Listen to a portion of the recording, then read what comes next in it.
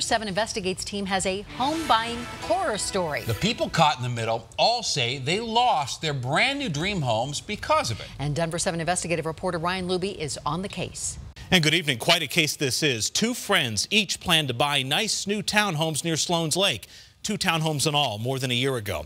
They each put down money for them, but literally at the last moment, there's record to show that the developer pulled a legal move to rip the homes away and put at least one of them back on the market, listed for a whole lot more money.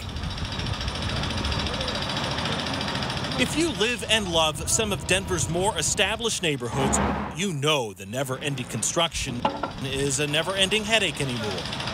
But an even greater frustration can come from getting caught up in the construction itself and got on this wait list um, a year and a half ago. And hearing why Jordan Head and his friend say their dreams to live here, to each buy one of these townhomes, got crushed. Me and my friend were so excited to move into like a new hot up and coming neighborhood. And I guess it's so hot that I guess you just rip people off. Indeed, both are no longer playing a waiting game, but a legal game.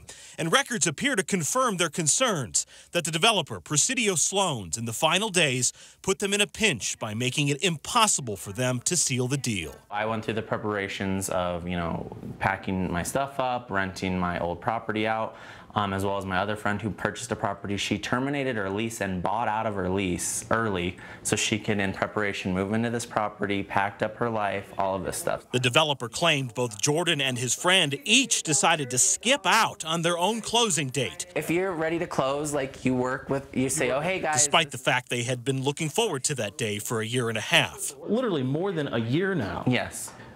And they're quibbling over one day. Correct, to close on a property. Never mind, in Jordan's case, the developer's own listing agent said the closing date was negotiable, perhaps a walkthrough. On the 8th or 9th and close on the property on the 10th.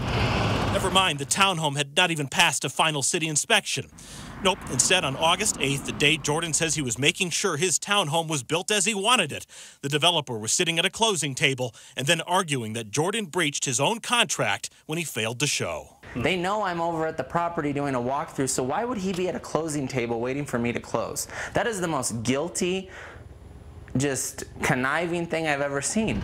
Jordan's townhome has not yet gone on the market again, but his friends did at one point, listed for $80,000 more than what she was going to pay. Totally just greedy. It's total greed. You're unit 12? Yep. Jordan says his townhome could probably go for even more, maybe as much as $100,000 more. Apparently, there's no recourse other than you got to go sue someone to have them complete something that they obligated themselves to do for over a year to me and another friend of mine. That is exactly what Jordan and his friend are doing. They filed suit just a few weeks ago.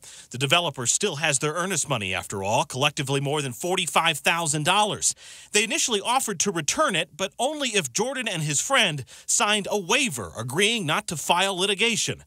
Well, in a statement to Denver 7 Investigates, Presidio Sloan says in part that it regrets that Jordan and his friend chose to file a lawsuit despite its offer to resolve the dispute through mediation. And it says in part that Jordan and his friend failed to timely secure financing, also causing the deal to fall through. But Jordan says that is just not true. I met their obligation every time they took my check. He showed us documentation to prove his financing had long been approved.